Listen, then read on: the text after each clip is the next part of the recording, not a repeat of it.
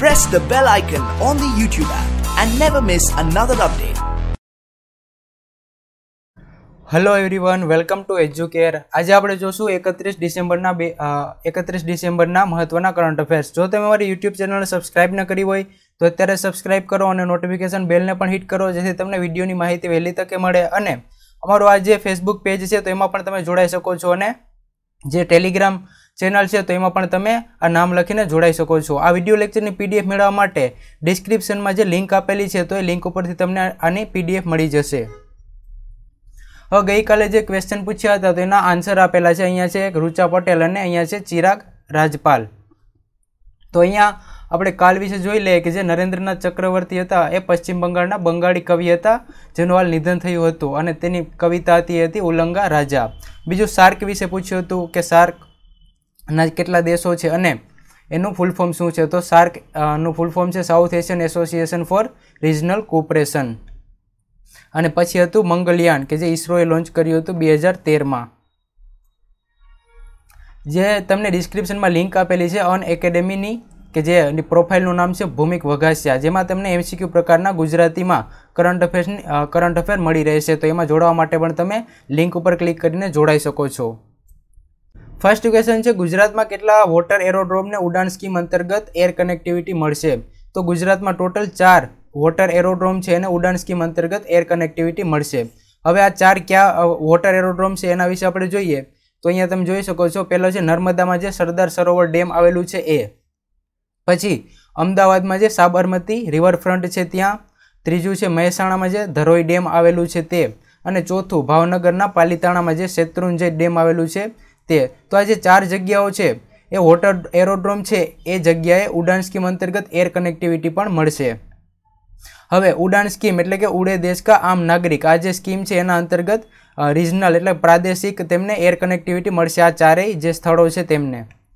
એટલે કે હવે જે નાગરિક અને ઉડ્ડયન મંત્રાલય છે સિવિલ અને એવિએશન મિનિસ્ટ્રી તો એના અંતર્ગત આ જે ચાર વોટર એરોડ્રોમ છે એનો સમાવેશ કરાયો છે કે જે ભારતના ટોટલ ચૌદ વોટર એરોડ્રોમ છે કે જેને પણ એર કનેક્ટિવિટી મળશે ઉડાન સ્કીમ અંતર્ગત, તો એમાં ચારનો પણ સમાવેશ કરવામાં આવ્યો છે. હવે આ છે શા માટે, આનો ફાયદો શું થશે? તો આ છે પ્રવાસનને પ્રોત્સાહન આપશે.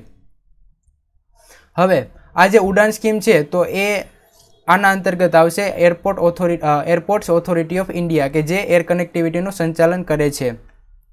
હવે આ જે airport airport authority of India છે સ્ટેચ્યુટરી ઓથોરિટી છે, એટલે કે વૈધાનિક સંસ્થા છે, અથવા તો લીગલ સંસ્થા. હવે આ ફાઉન્ડ થઈ હતી, આની સ્થાપના થઈ હતી એક એપ્રિલ ઓગણીસો પંચાણુંમાં. અને આના ચેરમેન છે, હાલની તકે છે ગુરુપ્રસાદ મોહાપાત્રા. સિવિલ એવિએશનના મિનિસ્ટ્રી છે, એના મંત્રી છે છે સુરેશ પ્રભુ હાલની તકે. નેક્સ્ટ ક્વેશ્ચન છે, વડાપ્રધાન નરેન્દ્ર મોદીએ હાલમાં કયા કેન્દ્ર શાસિત પ્રદેશની મુલાકાત લીધી અને પ્રોજેક્ટ લોન્ચ કર્યા છે? તો આપણા વડાપ્રધાન નરેન્દ્રભાઈ મોદી છે. તેમાં, તેમણે હાલ જ દક્ષિણતમ જે કેન્દ્રશાસિત પ્રદેશ છે અંદમાન અને નિકોબાર. તો આજે આઇસલેન્ડ છે, આ બંને ટાપુઓની મુલાકાત લીધી હતી વડાપ્રધાન નરેન્દ્રભાઈ મોદીએ. હવે, ત્યાં તેઓ શું પ્રોજેક્ટો તેમણે લોન્ચ કર્યા છે? એના વિશે વાત કરીએ તો સુનામી સામે લડવા સારી સુવિધાઓ ઉપલબ્ધ કરાવવામાં આવશે અંદમાન નિકોબારમાં. હવે બે હજાર ચારની વાત કરીએ તો બે હજાર ચારમાં જે નિકોબાર છે, તો ત્યાં એક સુનામી આવેલી હતી અને નુકસાન પણ થયું હતું. તો હવે હવે આવી સુનામી આવે તો એની ઉપર એની સામે લડવા માટે સારી સુવિધાઓ ઉપલબ્ધ કરાવવામાં આવશે આ જે ટાપુઓ છે એમાં. હવે કેનું કેનું ઉદ્ઘાટન કર્યું છે તો ઇન્ડસ્ટ્રીયલ ટ્રેનિંગ ઇન્સ્ટિટ્યૂટનું ઉદ્ઘાટન કર્યું છે, પછી સોલાર પાવર પ્લાન્ટ કે જે સાત મેગાવોટનો હશે, અને સોલાર વિલેજ આનું ઉદ્ઘાટન કર્યું છે નરેન્દ્રભાઈ મોદીએ. અંદમાન નિકોબાર વિશે વાત કરીએ, તો આ એક કેન્દ્રશાસિત પ્રદેશ છે અને એની રાજધાની છે, એ છે પોર્ટ બ્લેર પોર્ટ બ્લેર છે એની રાજધાની છે અને એના એલજી છે. એ છે એડમિરલ જે રિટાયર્ડ છે એડમિરલ દેવેન્દ્ર કુમાર જોશી અને મેપમાં આપણે જોઈએ તો અહીંયા જે ભારત છે, તો અહીંયા આ સાઈડ આવશે અંદમાન અને નિકોબાર આઇસલેન્ડ અહીંયા અંદમાન આઇસલેન્ડ અને અહીંયા નિકોબાર આઇસલેન્ડ. તો અહીંયા હાલ જ વિઝિટ કરી હતી વડાપ્રધાન નરેન્દ્રભાઈ મોદીએ. નેક્સ્ટ ક્વેશ્ચન છે, હાલમાં સુપ્રસિદ્ધ વ્યક્તિ મૃણાલ સેનનું અવસાન થયું છે, તે કયા ક્ષેત્ર સાથે જોડાયેલા હતા? હવે અહીંયા તમે ઇમેજમાં જોઈ શકો છો, આ છે મૃણાલ સેન. હવે આ બહુ ફેમસ વ્યક્તિ હતા અને હાલે તેમનું નિધન થયું છે કોલકાતા ખાતે. તો તેઓ કયા ક્ષેત્ર સાથે જોડાયેલા હતા? તો તેઓ એક ફિલ્મ મેકર હતા. હવે એક સુપ્રસિદ્ધ બંગાળી ફિલ્મ મેકર હતા અને તેમને ઘણા એવોર્ડ પણ મળેલા છે, જેમાં ફિલ્મ ક્ષેત્રે તો છે અને બીજા જે પદ્મભૂષણ ભારત સરકાર દ્વારા આપવામાં આવે છે એ અને દાદા સાહેબ ફાળકે એવોર્ડ કે જે ફિલ્મ જગત માટે આપવામાં આવે છે, તો આ બંને એવોર્ડ પણ તેમને મળેલા છે. હવે આનું એક જે ફિલ્મો બનાવતા તો એમાં તેઓ સોશિયો પોલિટિકલ એટલે કે સામાજિક રાજકીય વિષયો પર કેન્દ્રિત ફિલ્મો માટે તેઓ પ્રસિદ્ધ હતા. આમણે છે તેમની શરૂઆત કરી હતી, એટલે કે નિર્માતા તરીકે, ડાયરેક્ટર તરીકે તેમની કારકિર્દીની શરૂઆત કરી હતી રાત ભોરે નામની ફિલ્મ હતી કે જે ઓગણીસો પંચાવનમાં તેમણે રાત ભોરેથી શરૂઆત કરી હતી. તો આ તેમની પહેલી ફિલ્મ હતી એઝ એ નિર્માતા. નેક્સ્ટ ક્વેશ્ચન છે, ટોપ્સ અંતર્ગત ભારતના એથ્લીટોને નાણાકીય સહાય પૂરી પાડવા સ્પોર્ટ્સ મંત્રાલયે કેટલા રૂપિયાનું ભંડોળ આપ્યું છે? હવે, જે સ્પોર્ટ્સ ઓથોરિટી ઓફ ઇન્ડિયા છે, એના માટે ટોટલ સો કરોડનું બજેટ બહાર પાડ્યું છે એટલે સો કરોડની મૂડી આપી છે સ્પોર્ટ્સ મંત્રાલયે. શા માટે આપી છે? તો આ જે ટોપ્સ છે, ટોપ્સ એટલે કે એનું ફૂલ ફોર્મ થાય છે ટાર્ગેટ ઓલિમ્પિક પોડિયમ સ્કીમ હવે આ જે ઓલિમ્પિક પોડિયમ સ્કીમ છે, જે બે હજાર ચૌદમાં લોન્ચ થઈ હતી, તો આના અંતર્ગત હવે જે આવનારી ઓલિમ્પિકો હશે જે ટોક્યોમાં બે હજાર વીસમાં આવનારી છે અને બીજી કોમનવેલ્થ ગેમ્સ અને એશિયન ગેમ્સ જે આવવાની છે, તો એના માટે ભારતના જે એથ્લીટો છે, સ્પોર્ટ્સ પર્સન છે, તેઓ તૈયારી કરી શકે એના માટે તેમને નાણાકીય સહાય પૂરી પાડવા માટે આ સ્કીમ છે. અને આના અંતર્ગત આના અંતર્ગત છે, સ્પોર્ટ્સ મંત્રાલયે સો કરોડ ફાળવ્યા છે. તો એમાંથી, સોરી, સો કરોડ સો કરોડ ફાળવ્યા છે, તો એમાંથી જે એથ્લીટો હોય છે, જે તૈયારી કરતા હોય છે ઓલિમ્પિક્સની અથવા તો એશિયન ગેમ્સ અને કોમનવેલ્થ ગેમ્સની તો એ તૈયારી સારી રીતે કરી શકે તો એના માટે તેમને નાણાકીય સહાય મળી રહે એટલા માટે આ સો કરોડ ફાળવ્યા છે. ઓલિમ્પિક છે ટોક્યો જાપાનના ટોક્યોમાં બે હજાર વીસમાં આવવાની છે. હવે આ છે ડીજી એસએઆઈ એટલે કે director general of sport authority of India જે નીલમ કપૂર છે, તેમણે આ જાહેરાત કરી છે. આ છે નીલમ કપૂર. તેમણે હાલ જ તે આ જાહેરાત કરી છે. રૂપિયા સો કરોડનું ભંડોળ આપવાની. સ્પોર્ટ્સ ઓથોરિટી ઓફ ઇન્ડિયા વિશે વાત કરીએ તો એનો લોગો છે અને જે ફોર્મ થઈ હતી, સ્થાપના થઈ હતી ઓગણીસો એકસાઠમાં. આનું હેડક્વાર્ટર આવેલું છે, દિલ્હીમાં આવેલું છે અને આની એક સંસ્થા જે પેટા સંસ્થા છે અને એક આપણા ગાંધીનગરમાં પણ છે, sports authority of India. Neelam Kumar છે એના, એજન્સી એક્ઝિક્યુટિવ અથવા તો ડાયરેક્ટર જનરલ છે. નેક્સ્ટ ક્વેશ્ચન છે, તાજેતરમાં કેટલા રાજ્યો દ્વારા કરવામાં આવેલી મહિલા પોલીસ વોલેન્ટિયર સ્કીમ અંગેની દરખાસ્તને કેન્દ્ર સરકારે મંજૂર કરી છે. તો હાલે ટોટલ છ રાજ્યો દ્વારા, ભારતના છ રાજ્યો દ્વારા એક દરખાસ્ત કરવામાં આવી હતી કેન્દ્ર સરકારને. શા માટેની દરખાસ્ત કરવામાં આવી હતી? તો આ કરવામાં આવી હતી મહિલા પોલીસ વોલેન્ટિયર સ્કીમ. મહિલા પોલીસ વોલેન્ટિયર સ્કીમ. તો આ અંગેની દરખાસ્તને કેન્દ્ર સરકારે મંજૂર કરી છે. હવે આ છ રાજ્યોએ દરખાસ્ત કરી હતી, તો આ છ રાજ્યો ક્યાં ક્યાં હતા? તો આ છ રાજ્યો અહીંયા તમે જોઈ શકો છો. ગુજરાત, મિઝોરમ, મધ્યપ્રદેશ, આંધ્રપ્રદેશ, છત્તીસગઢ અને કર્ણાટક. તો આ છ રાજ્યોએ દરખાસ્ત કરી હતી અને મંજૂર કરી છે કેન્દ્ર સરકારે. હવે આ જે વોલેન્ટિયર છે, મહિલા પોલીસ વોલેન્ટિયર સ્કીમ એ શું છે? તો એક તો એ મહિલા અને બાળ વિકાસ મંત્રાલય છે અને ગૃહ મંત્રાલય. આ બંનેની એક સંયુક્ત પહેલ છે.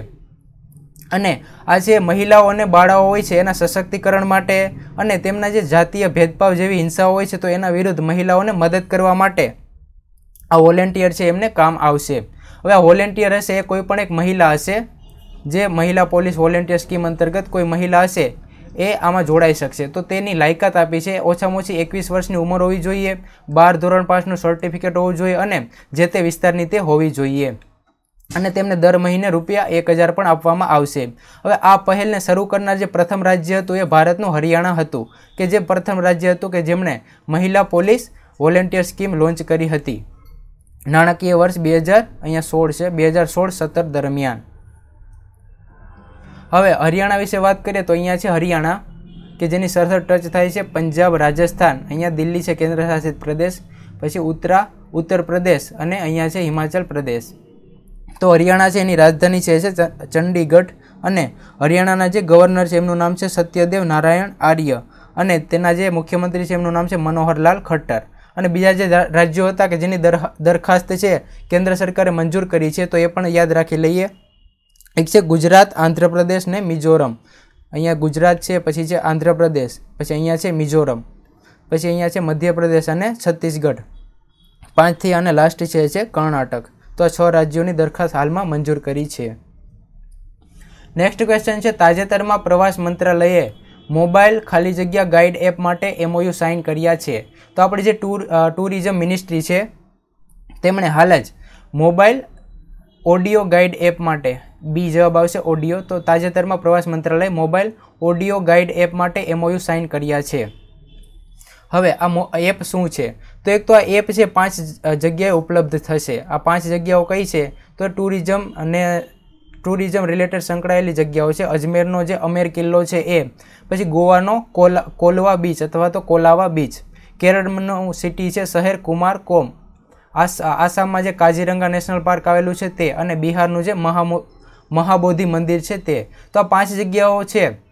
એ જગ્યાએ ઉપલબ્ધ કરાય છે. આ જે પ્રોજેક્ટ છે કે જે મોબાઈલ ઓડિયો ગાઈડ એપ. તો આના અંતર્ગત છે કોઈપણ જે ટુરિઝમ અંતર્ગત જે કોઈપણ પ્રવાસીઓ આપતે, આવશે તો તેમને ઓડિયો રીતે તેમને ગાઈડ કરશે આ એપ. હવે આ એપ છે, એ એડોપ્ટ એ હેરિટેજ પ્રોજેક્ટ અંતર્ગત કરવામાં આવી છે અને આજે એક ટેકનો કંપની છે, રેસબર્ડ ટેકનોલોજી, જે હરિયાણાની છે. તો એની સાથે એમઓયુ કર્યા છે. એટલે કે આ રેસબર્ડ ટેકનોલોજી છે, એ આ એપને ડેવલપ કરશે જે હરિયાણામાં સ્થિત છે. અને કયા પ્રોજેક્ટ અંતર્ગત આ એમઓયુ સાઇન કરવામાં આવ્યા છે, તો એ છે adopt adopt a heritage project પ્રવાસન મંત્રી આપણા છે, રાજ્ય સ્તરના, એમનું નામ છે કે જે Alphons. Adopt a heritage project વિશે વાત કરીએ તો તમને ખબર જ હશે, અમુક થોડાક સમય પહેલાં પણ જે આપણો લાલ કિલ્લો છે દિલ્હી ખાતેનો, તે દાલમિયા ગ્રુપ દ્વારા એડોપ્ટ એડોપ્ટ કરવામાં આવ્યો હતો. આનું આખું નામ છે એડોપ્ટ હેરિટેજ અપની ધરોહર, અપની પહેચાન. નેક્સ્ટ ક્વેશ્ચન છે, ભારતીય રેલવે દ્વારા ટ્રેનોમાં ખામી ચકાસવા માટે કયો રોબોટ વિકસાવવામાં આવ્યો છે? તો હાલ જ ભારતીય રેલવેએ જે ટ્રેનોમાં ખામીઓ થતી હોય છે, એના માટે એને ચકાસવા માટે ઉસ્તાદ કરીને રોબોટ છે એને વિકસાવવામાં આવ્યો છે. અહીંયા તમે જોઈ શકો છો, આ રોબોટ છે એનું નામ આપવામાં આવ્યું છે, ઉસ્તાદ રોબોટ. હવે ઉસ્તાદ રોબોટ છે એ એઆઈ ટેકનોલોજી એટલે કે આર્ટિફિશિયલ ઇન્ટેલિજન્સ ટેકનોલોજી છે, એનાથી સુસજ્જ હશે અને કેન્દ્રીય કેન્દ્રીય જે રેલવે ઝોન છે, સેન્ટ્રલ ઝોન, તો એના નાગપુર ડિવિઝન છે, એના દ્વારા વિકસાવવામાં આવ્યું છે. ઉસ્તાદ ઉસ્તાદ જે રોબોટ છે ટ્રેનના જે કોચોમાં ખામી હોય છે કે જ્યાં એન્જિનિયરો હોય છે, એને જે પહોંચી શકતા નથી કે ક્યાં ખામી છે, તો ત્યાં પણ આ પહોંચી શકશે અને કઈ કઈ ખામીઓ છે ચકાસી શકશે. જેમાં કેમેરા હશે અને વાઈફાઈની સિસ્ટમ પણ હશે. ઉસ્તાદ જે રોબોટ છે, તો ઉસ્તાદનું ફૂલ ફોર્મ આ રીતે થાય છે. Under gear surveillance through artificial intelligence assisted droid તો આનું ફૂલ ફોર્મ તમે યાદ રાખજો. નેક્સ્ટ ક્વેશ્ચન છે, મહારાષ્ટ્રની રાજધાની મુંબઈમાં બારમો બારમો ગ્લોબલ હેલ્થકેર સમિટનું ઉદ્ઘાટન કોણે કર્યું છે? તો મહારાષ્ટ્રની રાજધાની મુંબઈ. એમાં હાલ જ ગ્લોબલ હેલ્થકેર સમિટનું બારમું, બારમી આવૃત્તિનું ઉદ્ઘાટન કર્યું છે આપણા રાષ્ટ્રપતિ રામનાથ કોવિંદે. અહીંયા તમે જોઈ શકો છો. રાષ્ટ્રપતિ રામનાથ કોવિંદે. હવે આ છે એ ડબલ એ પીએ દ્વારા તેનું આયોજન કરવામાં આવ્યું હતું. હવે ડબલ એ પીએ શું છે? તો એ અમેરિકન એસોસિએશન છે, જે ફિઝિશિયન્સ હોય છે, ઇન્ડિયન ઓરિજિનના. તો એનું એક એસોસિએશન છે, અમેરિકા સ્થિત. તો તેના દ્વારા આયોજન કરવામાં આવ્યું હતું. તો રાષ્ટ્રપતિ રામનાથ કોવિંદે છે, અમેરિકામાં જે ભારતીય મૂળના ડોક્ટરો કામ કરતા હોય છે, તેમને આ આમાં સંબોધ્યા હતા. મહારાષ્ટ્રની રાજધાની મુંબઈમાં. તો મહારાષ્ટ્ર છે, એના મુખ્યમંત્રી દેવેન્દ્ર ફડણવીસ એ પણ ઉપસ્થિત હતા અને એના જે ગવર્નર છે, એનું નામ છે C Vidyasagar Rao.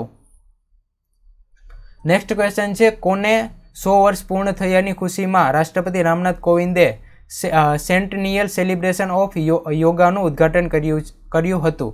તો હાલ જ ધ યોગા ઇન્સ્ટિટ્યૂટ કરીને એક ઇન્સ્ટિટ્યૂટ છે, એને સો વર્ષ પૂરા થયા છે. એટલે કે એની શતાબ્દી નિમિત્તે આપણા જે રાષ્ટ્રપતિ રામનાથ કોવિંદ છે, તેમણે જે યોગા સેલિબ્રેશન યર શતાબ્દી સેલિબ્રેશન માટે તેમનું ઉદ્ઘાટન કર્યું હતું ધ યોગા ઇન્સ્ટિટ્યૂટ કે જેને હાલે સો વર્ષ પૂરા થયા છે. અહીંયા તમે જોઈ શકો છો. હવે the yoga the yoga institute છે.